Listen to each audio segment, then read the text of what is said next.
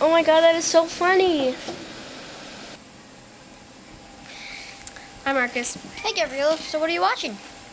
Someone in our class getting bullied on YouTube. Is that funny or what?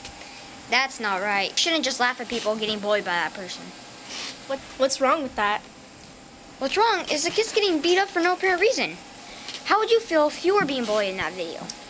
Oh, I never thought of it that way. You should show this to the principal. I will. Hello, Gabriella. What can I help you with today? Hi, Ms. Guggenheimer. I just wanted to show you a video of one of my classmates getting bullied. Thank you very much for showing me this video. I will talk to the student right away.